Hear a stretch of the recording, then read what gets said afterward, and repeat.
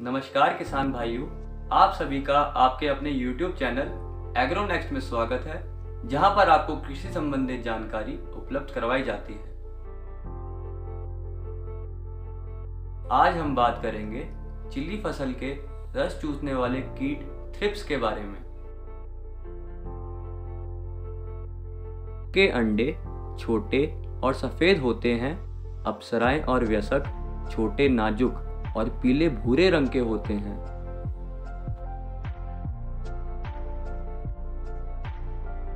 सबसे पहले कोमल पत्तियों और बढ़ती हुई टहनियों पर प्रकोप दिखाई देता है और धीरे धीरे परिस्थिति बिगड़ने पर कलियों और फूलों पर भी प्रकोप दिखाई देता है और अंत में पौधा या पत्ता मुरझाकर मर जाता है।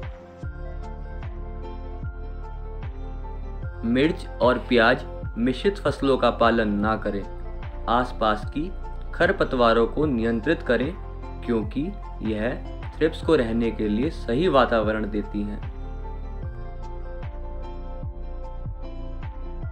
225 से 300 ग्राम प्रति हेक्टेयर थाइक्लोप्रिड 500 लीटर पानी में मिलाकर या 50 से 100 ग्राम प्रति हेक्टेयर एसिटामाइप्रिड 500 से 600 लीटर पानी में मिलाकर छिड़काव करने से अच्छे परिणाम देखने को मिलते हैं।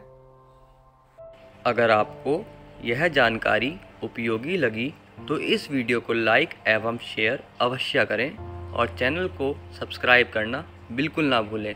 धन्यवाद।